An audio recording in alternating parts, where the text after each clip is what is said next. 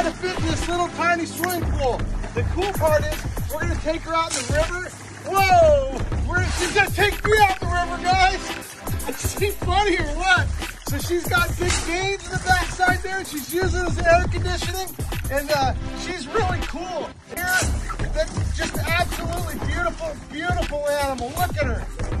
And the funny part is, she just loves to play and check things out. Whoa, look at her. What an incredible whoa, what are you doing, girl? Now she's giving me a kiss. This is literally an extension of her brain. The nerves go right into her skull.